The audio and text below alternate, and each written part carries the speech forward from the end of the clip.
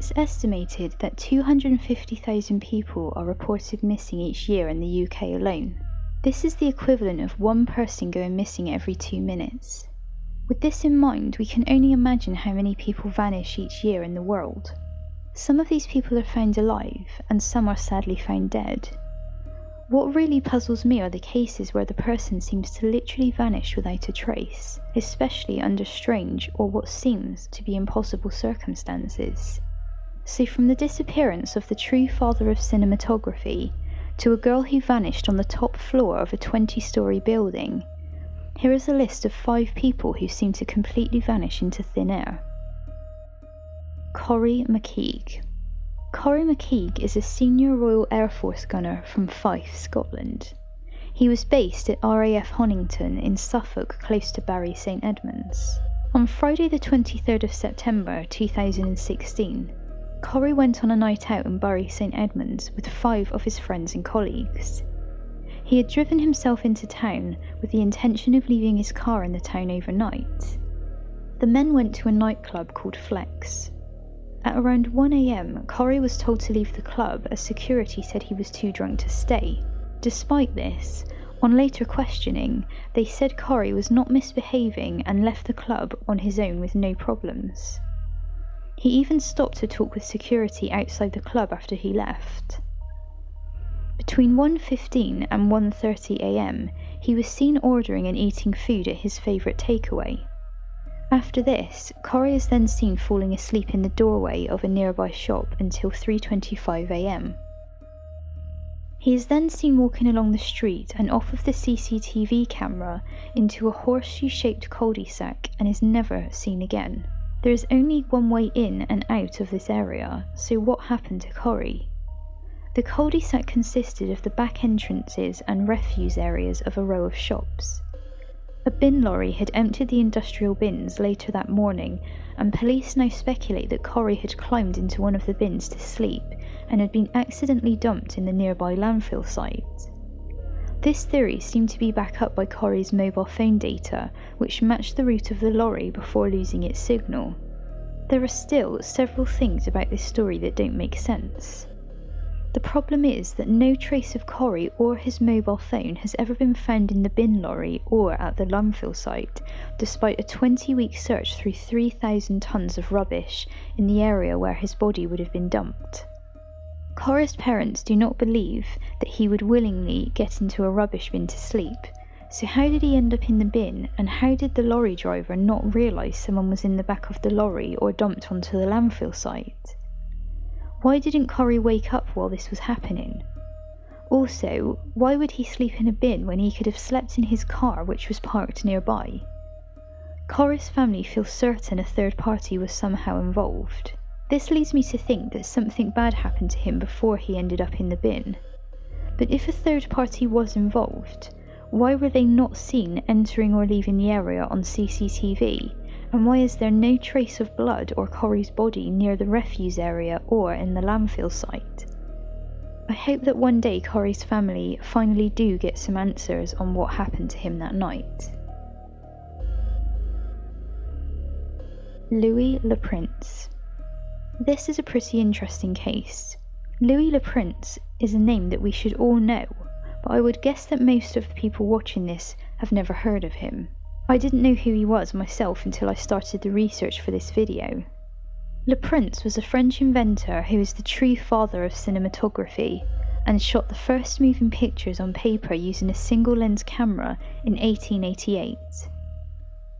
His first film was called Roundhay Garden Scene, he then filmed traffic and pedestrians crossing Leeds Bridge in the UK. These scenes were then projected onto a screen in Leeds, making it the first motion picture exhibition. This was several years before anyone else achieved this, despite most people crediting the Lumiere brothers or Thomas Edison as the father of cinematography. The following year, Le Prince took up dual American citizenship so he could promote his work and further his research. In September 1890, he planned a trip back to the UK to patent his camera and then planned to return to America for a public demonstration of his work. While in the UK, he decided to go and visit his family in France before returning to America. On September the 16th, he took a train from Dijon to Paris. He was seen boarding the train by his brother, although when it arrived in Paris, Le Prince and all his belongings were nowhere to be seen, and he was never seen again. This meant he never had a chance to promote his work in the United States, and his legacy seemed to disappear with him. No luggage or corpse was ever found on the Paris Dijon Express or on the rail tracks, and no one saw him on board the train. Nothing unusual was reported on the train itself either, so what happened to Le Prince is a complete mystery. Several theories have been proposed as to what happened to him, from suicide to murder by one of his rivals. Some people have questioned Thomas Edison's involvement due to the fact that shortly after the disappearance, Edison tried to take credit for Le Prince's invention. This was disputed in a court case between Edison and Le Prince's widow and son, Adolphe Le Prince. Adolphe was denied using his father's camera as evidence that he was the true inventor, and Edison won the case, but this was later overturned. Despite this, many Americans still consider Edison as the father of cinematography. In another strange twist, two years after the case, Adolphe Le Prince was found dead whilst out shooting ducks on Fire Island near New York. Nicole Morin Nicole Morin was an eight year old Canadian girl who lived with her mother in a penthouse apartment in a building called the West Mall in Toronto, Canada. On the 30th of July 1985, at 10:30 a.m., she had gone down to the apartment lobby to collect the mail and return safely home. She had arranged to go swimming in the indoor pool with one of her friends who would stay waiting for her in the lobby. She spoke with her friend from her apartment on the intercom and said she would be straight down with her swimming gear. Nicole then left the apartment and was never seen or heard from again. Her friend waited for about 15 minutes before buzzing her apartment again to ask why she hadn't arrived yet. Her mother then raised the alarm that Nicole was missing and a search started. One resident thought they saw Nicole enter the elevator, but other than this, no one saw or heard anything unusual. It is thought that someone abducted Nicole in the hallway, but how did they do this from the top floor of a 20 story building without being seen or heard by anyone? Her disappearance sparked the largest police investigation in Toronto's history. A task force of 20 police and 900 volunteers took part in an extensive search of the entire building, neighbourhood, and all surrounding areas using cars, horses, aircraft, dogs, and all terrain vehicles, but no trace of Nicole was ever found. It was as if she simply closed her apartment door and vanished without a trace. The search still continues to this day in the hopes that someday people will find out what really happened to Nicole Morin that day. Jimmy Hoffa Jimmy Hoffa was an American labor union leader who became president of one of the largest American unions known as the International Brotherhood of Teamsters. Hoffa left school at the age of 14 and took full time manual labour jobs to help support his family as his father died when Jimmy was only seven years old. It was working in these jobs that started his involvement in unions and advocating for workers' rights.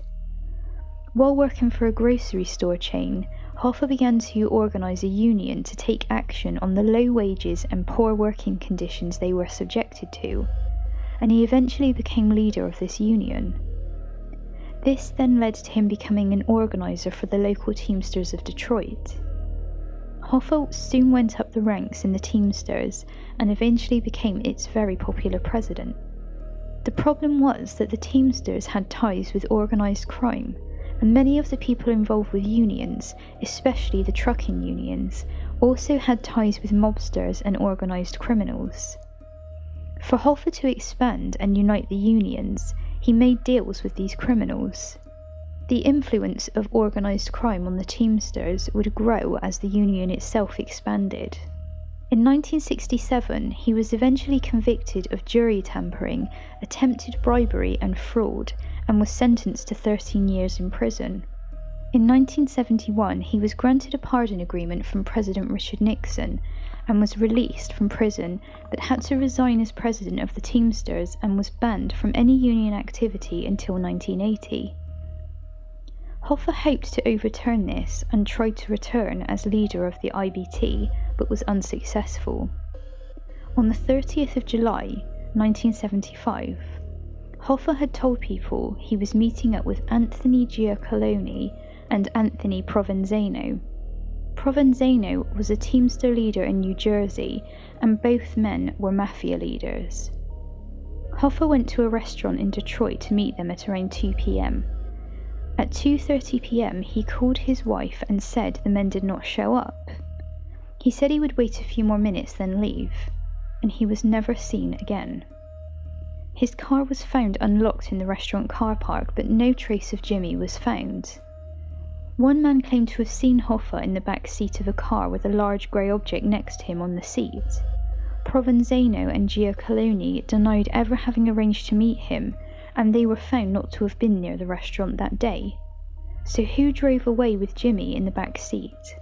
There have been various claims as to who was involved with his disappearance and why, but no one has ever been convicted of anything, and no body has ever been found, so there remains no closure or solid story of what happened to Jimmy Hoffa to this day.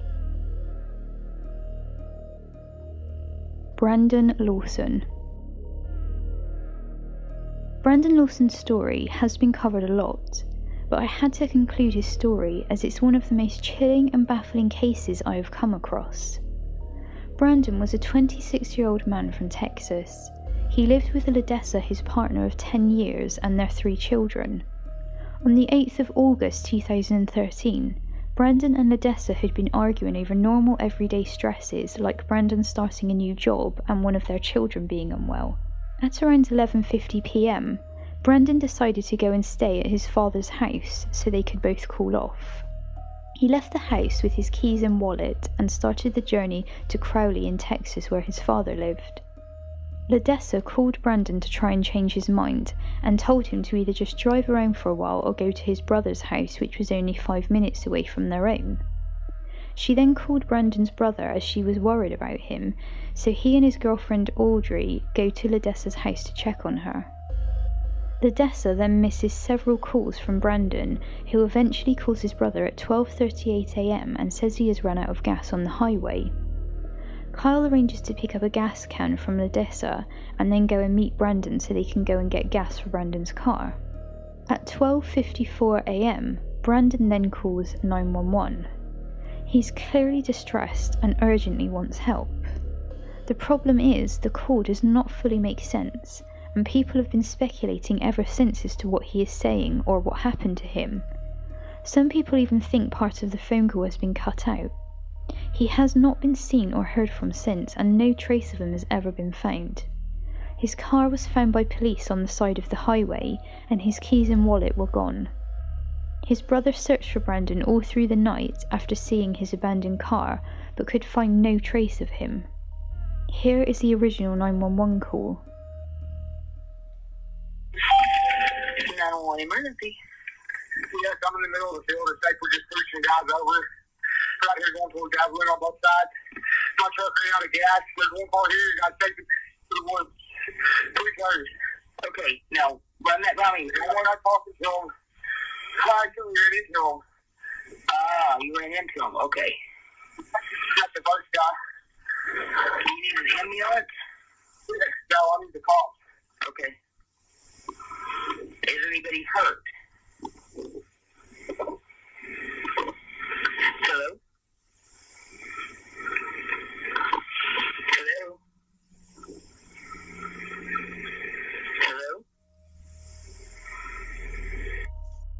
Did not tell Brandon's family about this call, and it only came to light after Brandon's phone records were checked by his family and they demanded to hear the call.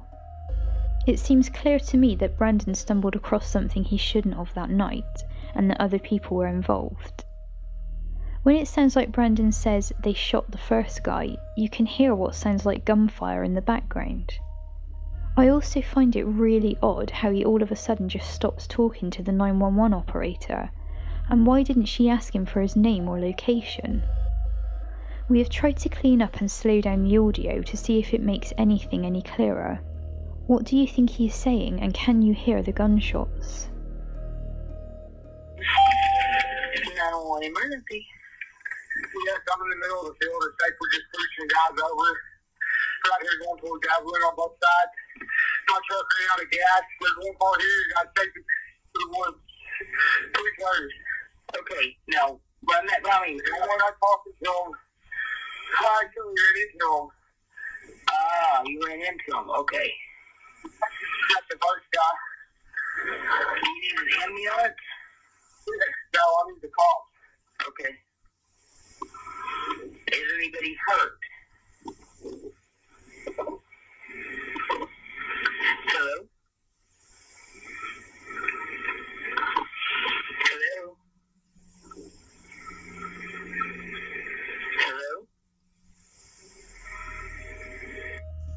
Brandon did call his brother after the 911 call, and although the signal was very poor, he definitely heard him say he was bleeding and needed help.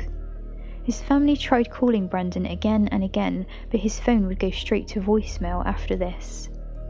If Brandon did stumble across some criminal activity, then where is the evidence of the crime and where is Brandon's body? Nothing has ever been found despite extensive searches of all surrounding areas. Brandon's partner, Ledessa, has set up a Facebook page called Help Find Brandon Lawson if you would like to know of any later developments in this case. As always, thanks for watching and see you in the next Mystery Sphere video.